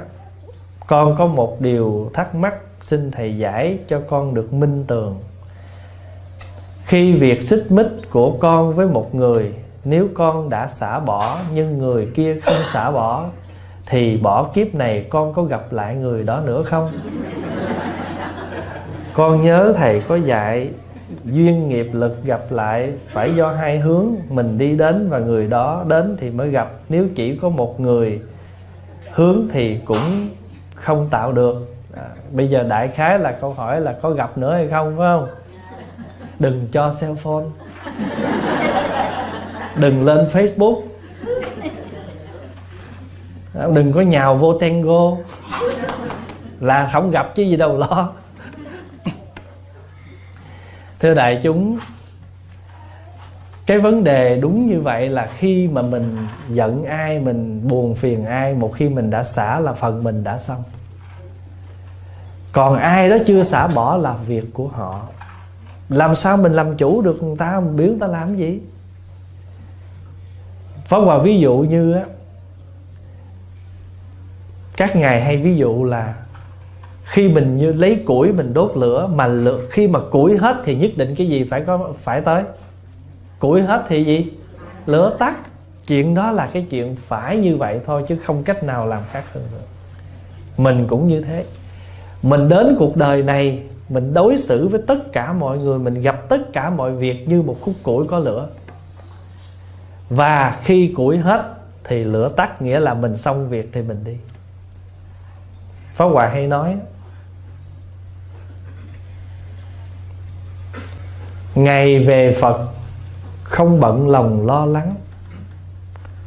Đi nhẹ nhàng, Đi thanh thản, Đi thông dong. Vì việc cần, Mình đã làm xong. Ai luận nghị bận lòng chi ghi nhớ? Việc của mình đã làm xong, Còn người ở lại là người ta dư thời giờ Để người ta ngồi ta luận cho kêu dư luận à, Ta ngồi tới ta giải thích rồi Đắn đo kêu bàn luận. Mà ta không đồng ý thì ta tranh luận. Phải không? À, Rồi người ta dư luận Rồi bàn luận Rồi cãi luận Rồi tranh luận. Đủ thứ luận hết. Còn mình á Xong việc rồi mình đi. Có một việc gì mà người ta không tranh không phân búa cho nên bận lòng chi chuyện đó còn bây giờ nè, trong trong 10 điều tâm niệm có một câu nè, oan ức không cần biện bạch, vì biện bạch là nhân ngã chưa xả. Rồi có vị sẽ thắc mắc, nó nói vậy rồi không lẽ anh ta hiểu lầm mình cũng để yên sao? Không phải. Nếu như người ta hiểu lầm mình mình phải có bổn phận giải thích. Giải thích xong phần mình đúng bài bản, nghĩa là đúng sự thật rồi, việc của mình giải thích đã xong còn nếu người ta thật tình là người ta có thiện chí muốn hàn gắn với mình, sau khi mình giải thích rồi, sự hiểu lầm tan biến, thì điều đó thiện duyên vẫn tiếp tục. Nhưng mà cái người mà cố tình không muốn hiểu rồi thì quý vị nghĩ người ta hiểu không? Làm sao người ta muốn hiểu? Ta đã cố tình không muốn hiểu, người ta cố tình muốn gây chuyện rồi thì chịu thua. Dí dầu tình bậu muốn thôi. Bậu gieo tiếng dữ cho rồi bậu ra. Người ta muốn ra, người ta mới phải gieo cái tiếng dữ cho mình, người ta mới ra được chứ. Nhưng mà cuộc đời tìm cho lắm rồi cuối cùng bậu ra, bậu lấy oan gia. Nhân quả mà. Cho nên là thưa đại chúng là mình, Ai hiểu lầm mình, Nếu mình cần giải thích cứ giải thích. Mà giải thích là phải giải thích cho nó đúng cái chương trình. Quá trình nó như thế nào là nói như vậy. Có lỗi thì phải nhận mà đa số mình nói hồi cái tự nhiên sao đi vòng vòng hồi sao báo mấy cục phải, cục đúng vậy, chạy về mình hết trơn.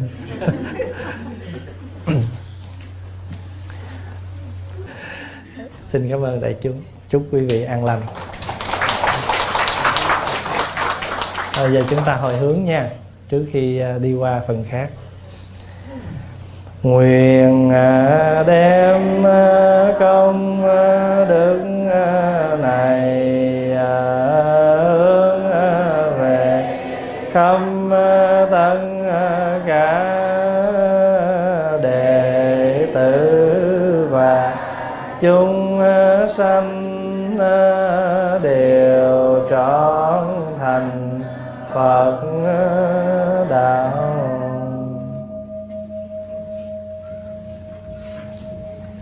Hôm nay có đôi lời tác tập đó. Bổn sư thích ca mâu ni phật kính bạch thầy những năm gần đây cứ mỗi độ xuân về ngôi chùa chúng con lộn lên những lời hỏi han của mấy bác. Không biết năm nay thầy pháp hòa có ghé chùa mình không? Mà điều hạnh phúc nhất của tụi con là nói với mấy bác rằng ồ năm nay thầy pháp hòa ghé chùa mình đó nghe. Mà mỗi lần như vậy chúng con lại có cơ hội vân cập về chùa để hưởng một ngày tu học thật ý nghĩa và để tiếng cười như hôm nay. Thầy ơi, cuộc sống ngày nay người ta hiện đại cho nên người ta dành nhiều thời gian với những thiết bị điện tử như iPhone, iPad. Họ không có thời gian tĩnh lặng để lắng nghe mình cũng như quan tâm đến những người xung quanh. Vì thế mà cuộc sống trở nên cô lập và mệt mỏi hơn.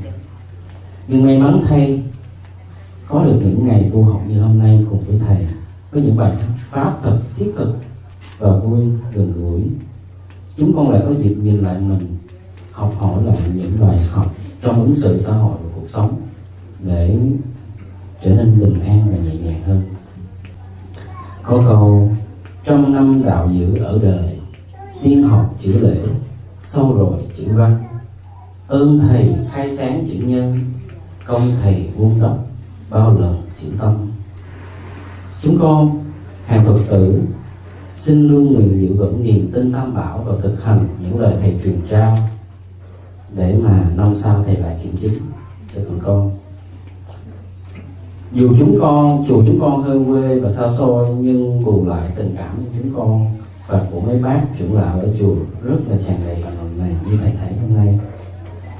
Và chúng con luôn tri ân thầy đã không quản ngại khó khăn, mang những bài pháp thật hữu ích. Thật sự rồi thật sự nếu ai biết được cái lịch trình hoàn pháp của thầy chắc không khỏi giật mình. Vì hiếm khi nào thầy có một ngày nghỉ ngơi trọn vẹn. Như tụi con bình thường một năm làm việc ở Mỹ cũng có vài ngày nghỉ sơ hơi nhưng mà nhìn vào lịch làm việc của thầy trên Facebook thì không có ngày nào hết. À, chúng con nghĩ rằng thầy đi nhiều vậy chắc đôi giày thầy sờn dữ lắm á thầy. Và con tin không phải vì cái sờn những đôi giày đó mà thầy lại không tiếp tục hoàn pháp và đem đến những bài pháp cho phật tử chúng con. Cho nên chúng con xin mạng phép, thầy hoan hỷ từ bi hứa khả dành cho chúng con một ngày tu học trong năm sau nữa nha thầy. Thầy, thêm nhiều sức khỏe tiếp tục sứ mệnh truyền bá chánh pháp, làm cho cuộc đời thêm tươi đẹp và đem lại lạc cho cuộc nhân quần xã hội. Và hôm nay với chút lòng thành, chúng con xin có ít tịnh tài, xin kính dùng dường đến thầy. Mong thầy từ bi nạp thọ. Nam mô chứng minh sư bồ tát.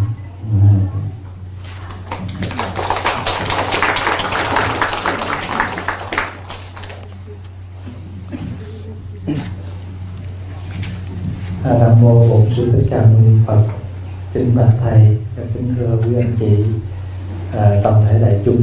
Hôm nay thật là một ngày à, à, đầy đủ của tất cả chúng ta à, lúc cuối tuần. Hôm nay lẽ ra chúng ta sẽ tản mạn đi chơi chỗ này chỗ nọ nhưng chúng ta đã cùng một hướng về đây à, để mà chúng ta tu học và để chúng ta gặt hái những cái thiện pháp trong cuộc sống hàng ngày của mình. Thì con luôn luôn biết ơn thầy đã tạo nhiều duyên lành cơ hội cho chúng con để được về đây thăm quý phật tử. Và mỗi lần về đây thấy hình ảnh quý anh chị à, đang chung vai góp sức với thầy thì thật là một cái sự ấm lòng và không phải dễ thấy ở trong những cái xã hội mà quá nhiều bận rộn. Các anh chị ai cũng có gia đình có con cái có việc làm mà các anh chị vẫn thu xếp về chùa trong mọi lúc, sinh hoạt như thế này thì không phải ai cũng có thể làm được. Và như vậy chứng tỏ rằng cái đức của thầy trụ trì ở đây cũng phải lớn lắm và cái phước báo của thầy cũng lớn lắm. Thầy mà có thể quy tụ một hàng thông được như thế này.